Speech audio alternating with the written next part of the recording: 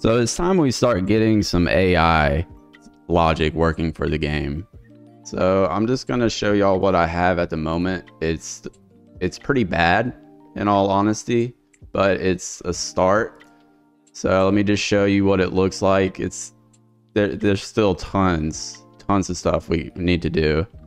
Um, and I apologize for anyone who's following along. I haven't done a very good job uh, as far as uh, showing you everything I've done to get to this step. Uh, I'm going to show you what I have um, after this. And I also is on my GitHub, and I'll link my GitHub in the description, and you can take a look at the project uh, and just look at the code for yourself. But I am going to show you. I'm going to show you the code, but it's it's hard to follow along if I, if I'm not showing you the steps uh, as I'm doing them. But anyways, all right. So basically, the field is divided up into. Let me just show you. We have zones. So we have a zone for each player, and I'm actually going to add more zones and and tweak this in the near future. But they're just they're just uh, cubes, and I just disabled the mesh render on them.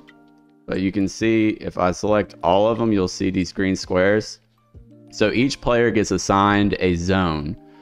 Uh, so four players, four zones on each half of the midfield line. So this player's home zone's here, this player's home zone's there, this one's home zone is right here and right there. Now that's also where they go to defend. They go to their home zone uh, whenever the other team has the ball and they're playing defense.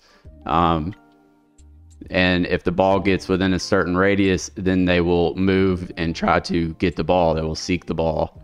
Uh, now their attack zones is just they stay in the same formation, but it's on the other team's half of the field. So this guy's attack zone is here.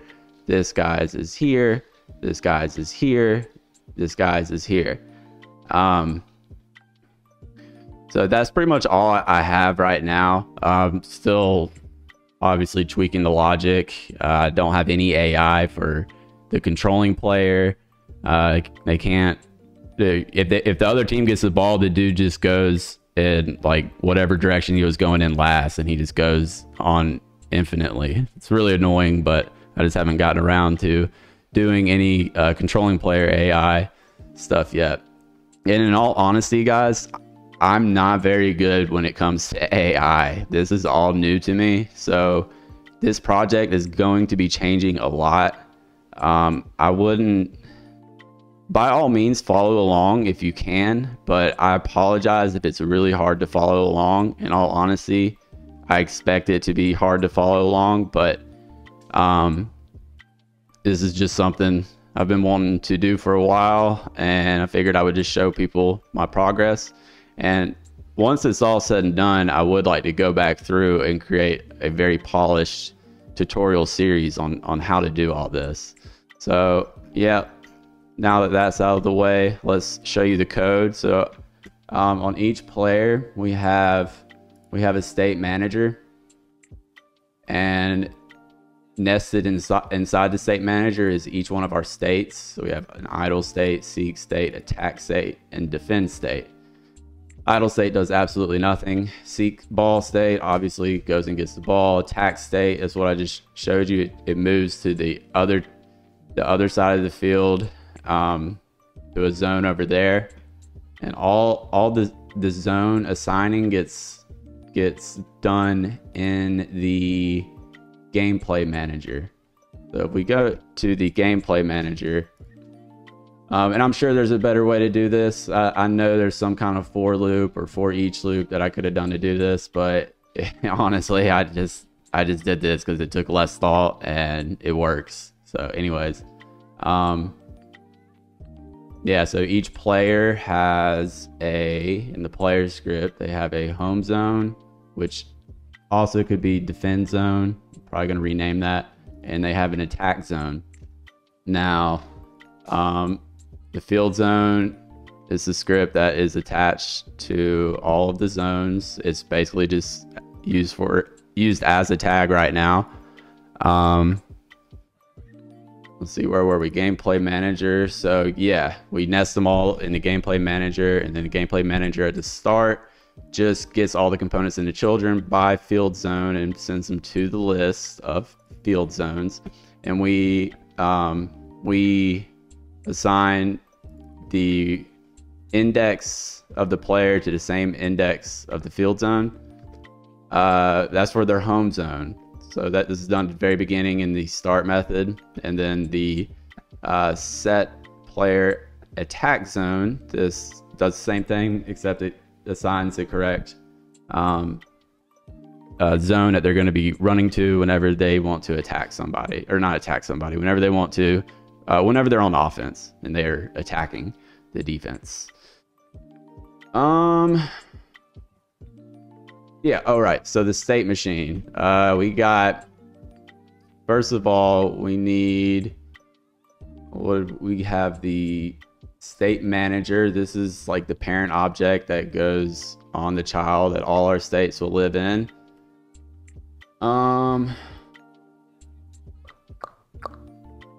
Yeah, just take a look at that code. Um. It, yeah, it basically just kicks off the state machine. If the game is active and it's not being user if the player is not being user controlled then run the state machine. Um, if not then nothing's gonna happen.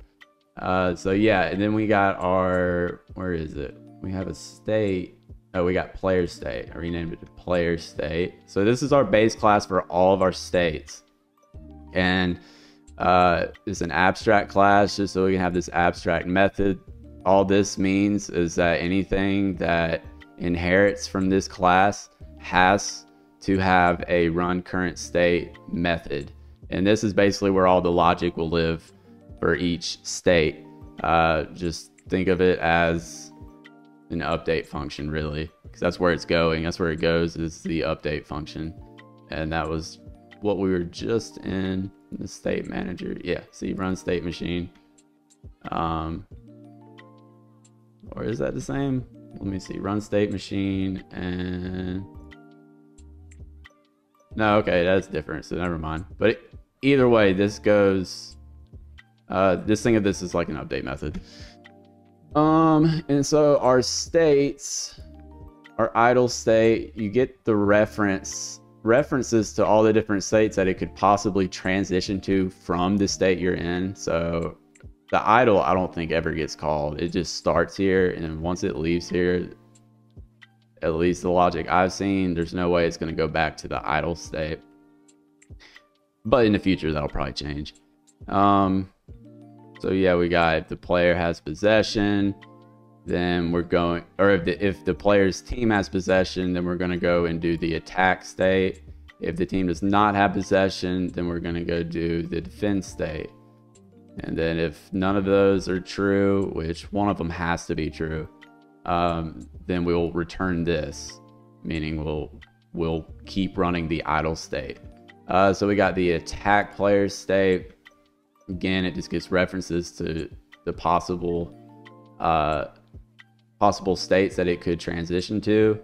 So if the team has possession of the ball, but the player doesn't have possession, then this state is true and we're going to return this and we're going to get the right um, direction to send our player um, based off of his attack zone.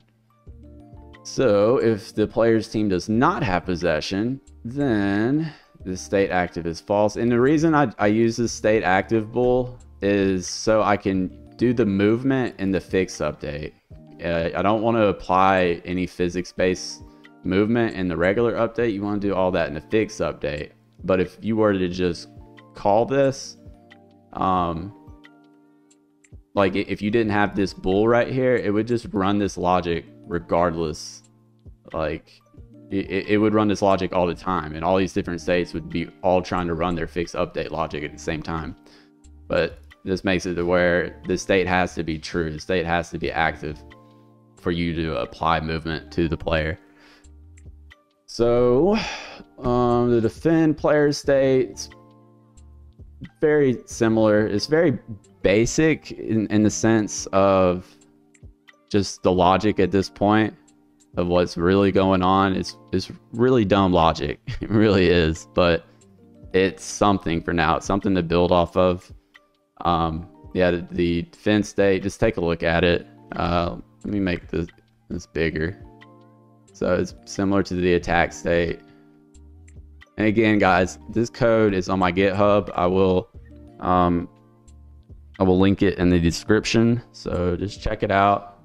I try to I try to do things semi clean, uh, so it's easy to read. Um, I don't like doing a lot of comments. All right, I'm I'm rambling. I'm rambling. Uh, pursuit ball. I'm working on this one. And the seek ball. You just get the direction. Uh, the direction you go to seek the ball. You just take the ball's position and you minus uh, your player's current position and you just normalize it and then you just apply that to the velocity of the rigid body of the player. Um, so that's kind of it right now. It's I'm, it feels like I'm in the middle of something and it feels like it's getting messy, a little out of hand. Uh, but it's, it's honestly going good.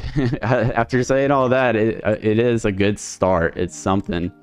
Uh, and yeah, I'm excited about what this could what this could be, how, how good the AI could be. Now, I'm just waiting for the whole thing to blow up in my face, like the coyote and the, and the roadrunner. Um, because that's usually what happens. Usually, it's going to get to the point where it's just really hard to maintain and and refactor and just work with and then it just kind of falls apart on me and I lose all motivation to work on the project. So I'm hoping that does not happen and we keep this bad boy going because it's starting to get fun now. If you liked this video or found it useful, please consider giving me a like and a subscribe as that really does help me out a lot with YouTube's algorithm and plus it just makes me really happy. All right, thank you and duck bless.